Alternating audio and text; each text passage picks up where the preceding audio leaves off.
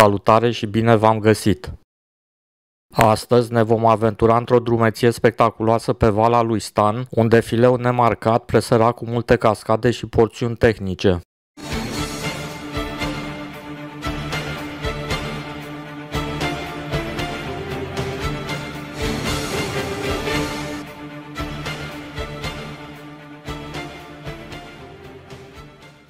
Barajul Vidraru este o destinație populară în munții Făgăraș, cunoscută pentru peisajele sale spectaculoase și pentru drumul transfăgărășan.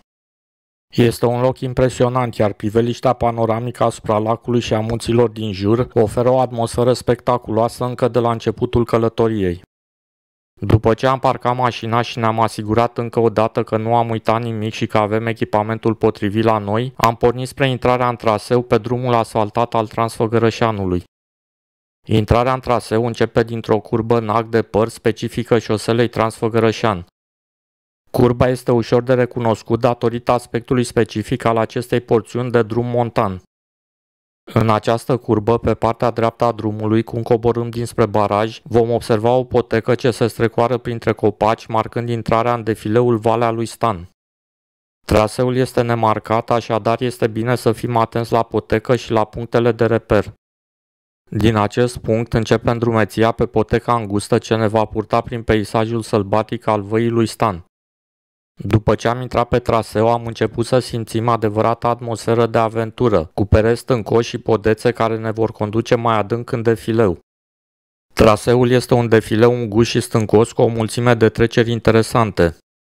Acesta este unul dintre cele mai pitorești și aventuroase trasee din zona Vidraru. Vom traversa podețe suspendate și vom întâlni cabluri de sprijin, care ne vor ajuta să depășim secțiunile mai dificile. Traseul este marcat de o succesiune de cascade mici, pereți stâncoși înalți și pasaje tehnice. Pe măsură ce înaintez, pereții devin tot mai înalți și mai apropiați, creând o senzație de izolare și aventură. În unele locuri, pereții sunt acoperiți de muși și vegetație deasă, ceea ce adaugă o notă sălbatică. Traseul este presărat cu poduri suspendate și scări metalice montate direct în stâncă pentru a traversa porțiunile mai dificile. Unele dintre aceste treceri se află la înălțime și necesită atenție sporită, oferind totodată priveliști impresionante asupra văii. În multe zone sunt montate cabluri de sprijin de care te poți ține în timpul traversării secțiunilor mai alunecoase sau abrupte. Acestea sunt necesare, mai ales în porțiunile unde poteca devine foarte îngustă și trece pe lângă pereți vertical sau peste cascade mici. Unul dintre cele mai frumoase aspecte ale văii lui Stan este prezența cascadelor. Pe parcursul traseului am întâlnit mai multe căderi de apă, unele mai mari, altele mai mici, formând bazine naturale cristaline la baza lor. Uneori traseul te duce chiar pe lângă sau peste aceste cascade, oferindu-ți o apropiere directă de apă. În unele zone vom merge chiar prin albia râului, unde apa poate atinge niveluri variabile în funcție de sezon.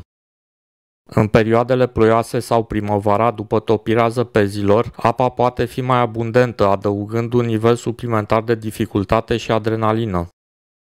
Valea este plină de vegetație densă specifică zonelor umede. Mușchiul acoperă multe dintre pietre, iar ferigile și alte plante de umbră se dezvoltă în acest mediu răcoros. La marginea văii, pădurea de foioase și conifere completează peisajul, oferind un contrast frumos între stâncă și verdele pădurii. Pe tot parcursul traseului vei avea senzația că ești într-un loc izolat și sălbatic. Sunetul apei curgătoare și pereții de stâncă din jur contribuie la această atmosferă. Drumeția în Valea lui Stan nu este doar o provocare fizică, ci și o experiență imersivă în natură. Traseul prin Valea lui Stan durează în jur de 3-4 ore, în funcție de ritmul de mers și de opririle pentru odihnă.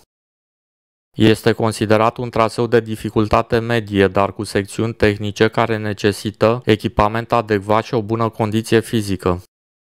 Totuși, frumusețea locurilor și aventura pe care o oferă defileul merită tot efortul. În perioadele ploioase, traseul poate deveni alunecos și mai dificil de parcurs.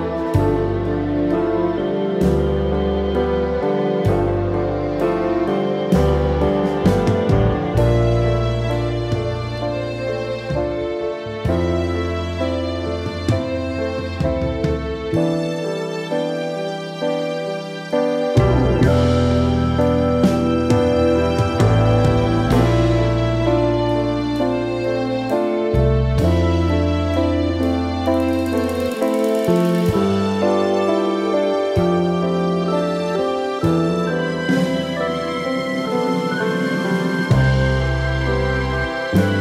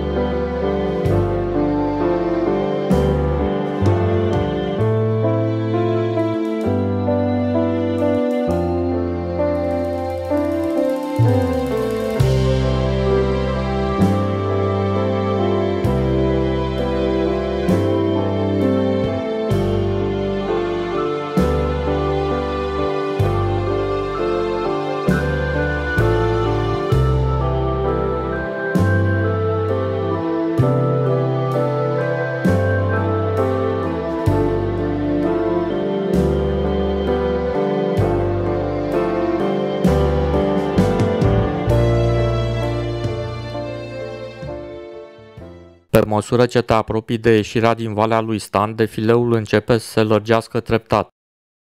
Pereții stâncoși care erau mai înguși și mai vertical la începutul traseului devin din ce în ce mai jos și mai distanțați unul de celălalt. Traseul începe să fie mai ușor, iar poteca se lărgește și devine mai lină, semnalizând apropierea de final. Chiar înainte de a ieși din defileu vom mai traversa câteva podețe metalice și vom folosi cablurile de sprijin pe câteva secțiuni. Acestea sunt de obicei mai scurte și mai puțin solicitante comparativ cu cele întâlnite în prima parte a traseului. Cascadele și albia râului devin și ele mai domoale. După ce am ieșit din Valea lui Stan, traseul ne conduce către Poiana Călugărița, un loc deschis situat într-o zonă liniștită și verde, unde mulți drumeri se opresc pentru o dihnă. Aici traseul devine mai relaxant, cu un mers lin fără dificultăți tehnice. De la Poiana Călugărița, traseul ne va purta printr-o zonă de pădure unde vom avea parte de umbra copacilor. Pe măsură ce ne apropiem de final, vom traversa o zonă de drum forestier sau un traseu de acces, care ne va conduce direct spre zona de parcări de la barajul Vidraru. Această porțiune de traseu este o încheiere plăcută a drumeției, oferind un contrast frumos între peisajele sălbatice ale văii lui Stan și accesibilitatea zonei de la barajul Vidraru. Pentru a parcurge Valea lui Stan, este recomandat să avem încălțăminte de drumeție, cască de protecție, apă și ceva de mâncare. Perioada recomandată pentru parcurgerea văii este vara sau începutul toamnei, când vremea este plăcută și traseul nu este alunecos. Valea lui Stan este un traseu variat și aventuros, perfect pentru cei care caută o combinație de natură sălbatică și provocări tehnice. Peisajele spectaculoase și structurile montate pentru a facilita parcurgerea îl fac unic în zonă. După această drumeție plină de aventuri, lângă șoseaua Transfăgărășan, am găsit o zonă plată, ideală pentru camping pe malul râului. După ce am montat corturile, am întins hamacele și ne-am așezat confortabil pentru a ne bucura de liniștea locului.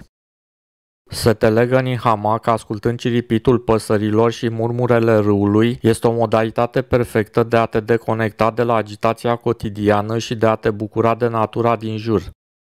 Am adunat lemne și am pregătit focul pentru fasolea cu ciolan afumat gătită la ceaun.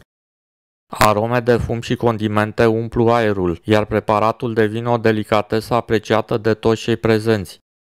După masă am stat în jurul focului, admirând cerul înstelat și ascultând povești din alte ture montane. Campingul în natură, combinat cu mâncarea delicioasă și relaxarea în hamac, transformă o drumeție obișnuită într-o aventură memorabilă.